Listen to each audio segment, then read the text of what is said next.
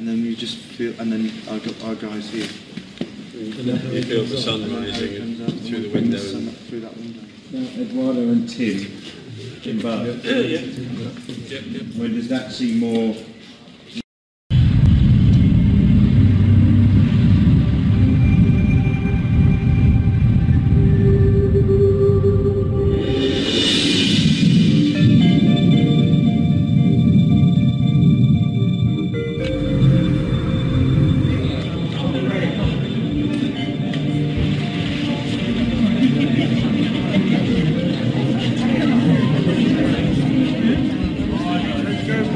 You'll be going after Emma.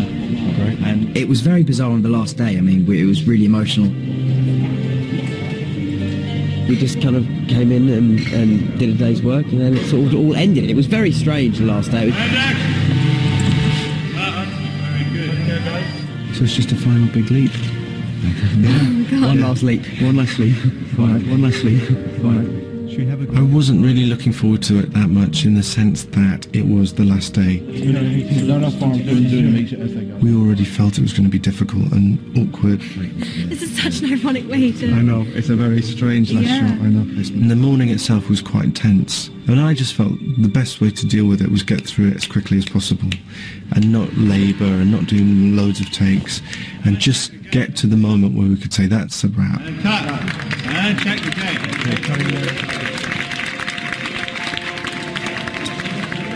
I feel like I've blocked out the memory because it's almost it was almost like too much. Can I just ask everyone just to uh, join us over by the monitor over there to my right in that open area? If everyone could just head over there, please, that'd be great.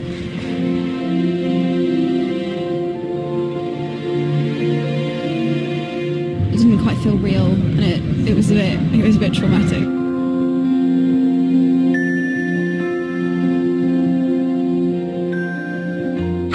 Imagine life without this yet. Because as literally I've been, been filming longer than I haven't been filming. First day of principal photography, only 247 to go.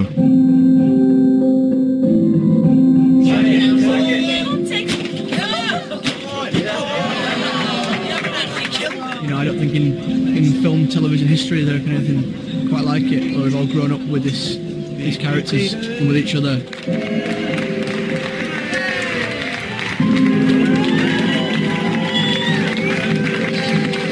This is our second home, basically. It's going to be sad to say goodbye to this place, for one.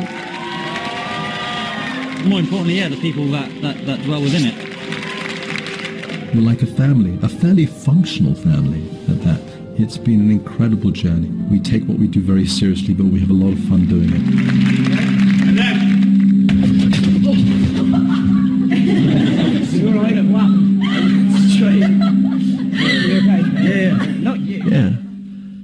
Kind of playing around.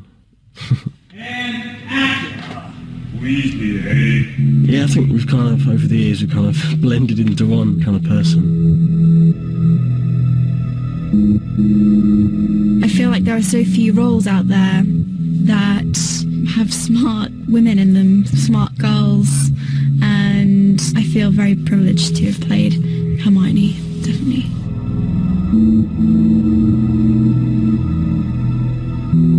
It is like you miss a friend or something. And um, so, you know, there's, there's stuff I got to do uh, in this part which, which I loved and, and will probably never have a chance to do again.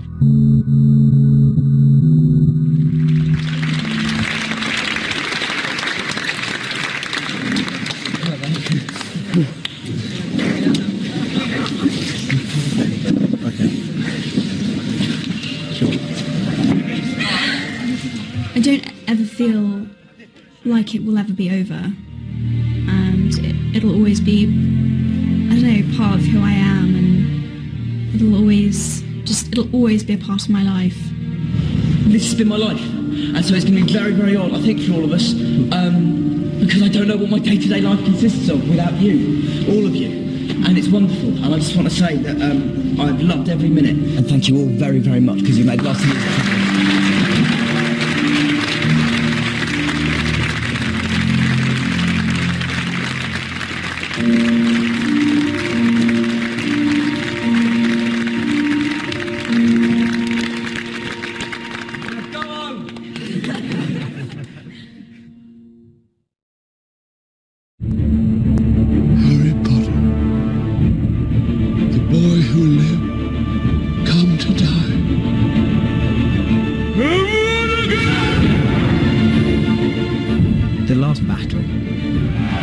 Huge.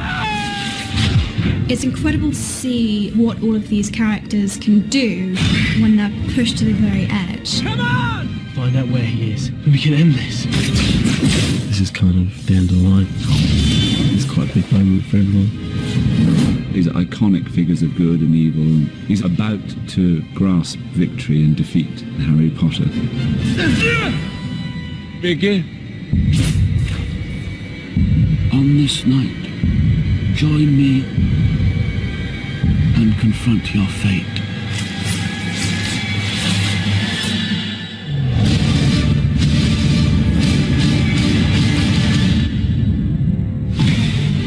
This is the final confrontation between Voldemort and Harry. Something we've been building to throughout this series.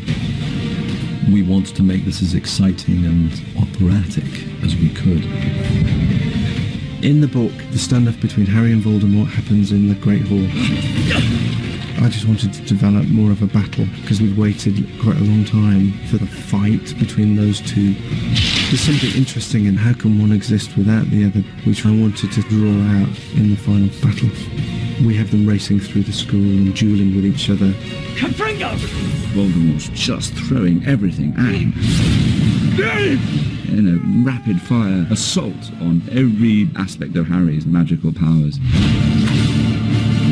Voldemort is, without question, you know, the most chilling character we've ever come across. Ralph fills the space in a way that you would hope that Voldemort would. It's quite intimidating to be in a quite combative scene with such an experienced actor.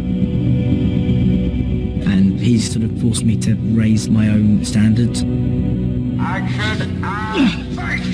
We have a lot of scenes where we're fighting or looking or reacting to each other's magic wands and spells.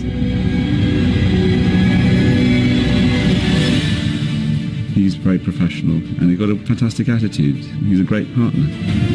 That really considers the reason behind each of Harry's actions and the conflict between Harry and Voldemort. You see in Harry's eyes that he can't stop. He has to see it through.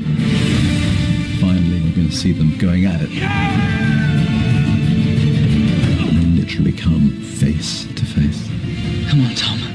Let's finish this the way we started. Together!